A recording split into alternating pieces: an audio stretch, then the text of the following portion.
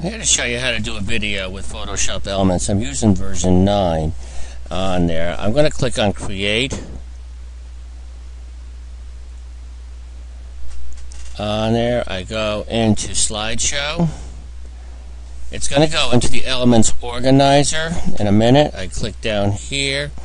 Uh, I'm just going to say remind me later. You're always getting these prompts. And what it's showing here, you can set the color for the background here. If I want an aqua or an orange or a green, I say OK. It has some uh, defaults here, transitions. I'll talk about those. I can make it a two second in there. Keep the preview quality high. Just read the little things here. I could add the pan and zoom to every slide automatically. Adds more visual effect there, so I'll say OK.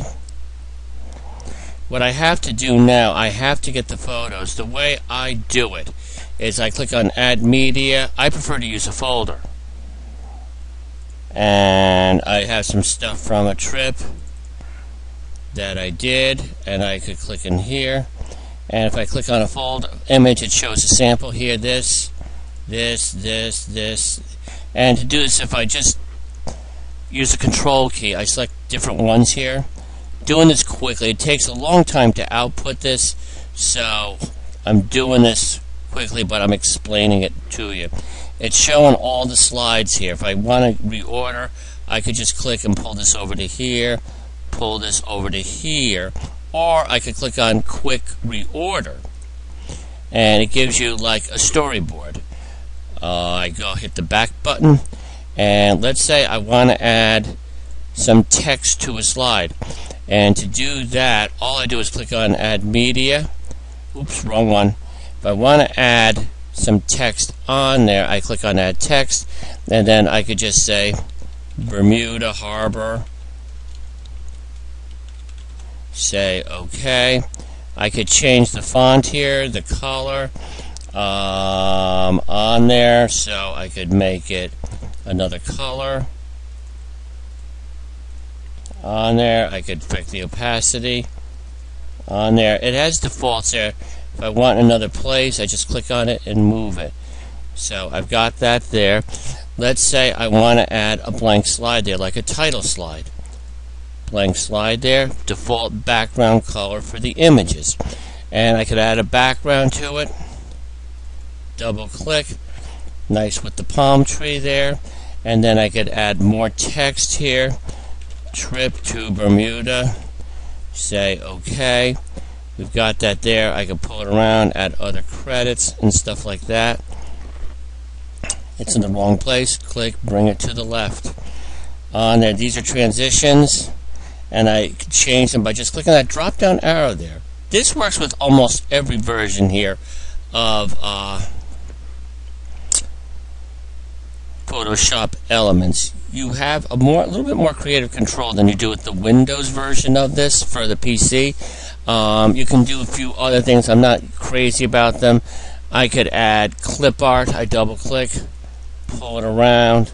I don't need it. I just delete it on there. So it gives you some fun things if you're doing something for a baby shower or a tribute on there. So next thing we want to do, if I want to preview the show, I just click on full screen preview it goes and shows you what it looks like. It's showing the transitions on each slide.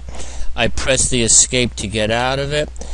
Next thing here, I want to save the project and I'll just call this Bermuda video. Uh, that when you do the outputting of it, that can take a few minutes. I'm not going to do that here. I want to keep the slideshow brief. Uh, let's say you want to add music here. I click inside here and I could go and choose any song that I want. And I'm in this Chad and Jeremy, and I could just say a summer song.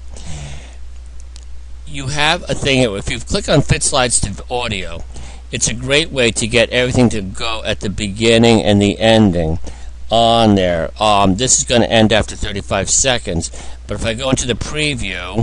As we walked by. I just hit the escape key. You get the beautiful, lovely music there.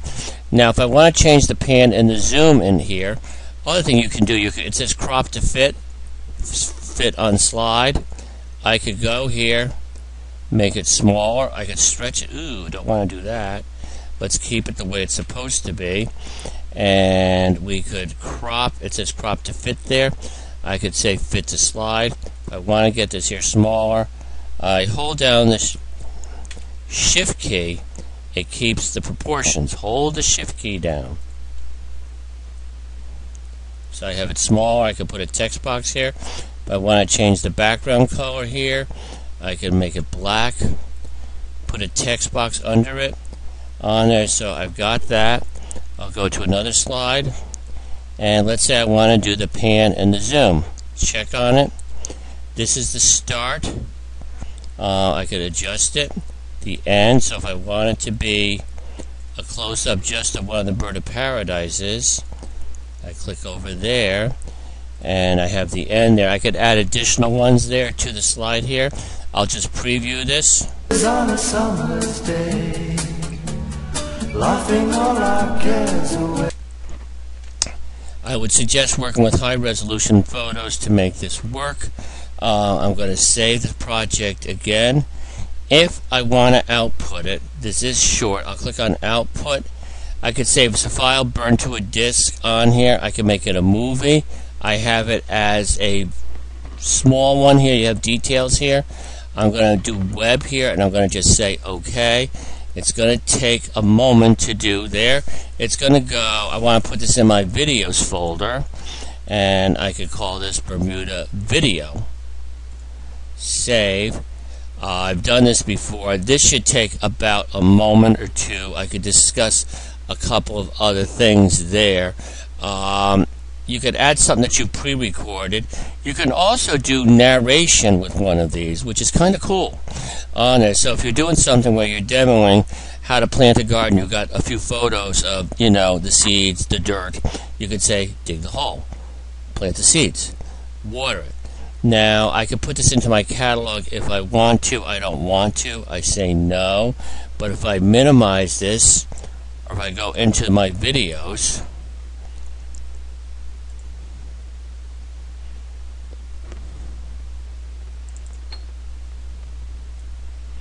I have a few things here, Bermuda video here.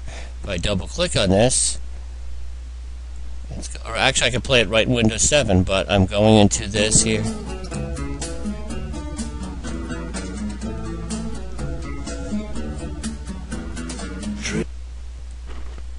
So we have this done. Uh, you can see that the resolution is not the greatest when I make it large, but when it's small, it's not bad. On there, and then if I save the project here, on there, we would have that saved there. Uh, one thing I will say is when you're doing this, be prepared to spend some time. It's not difficult, a little time consuming. In the Windows uh, Media Player, uh, you can do these with some instant clicks here, but this gives you a little bit more control. Last thing, I would suggest getting your pro pictures properly retouched and sized before you start doing the video on there. You can also edit this at a later date.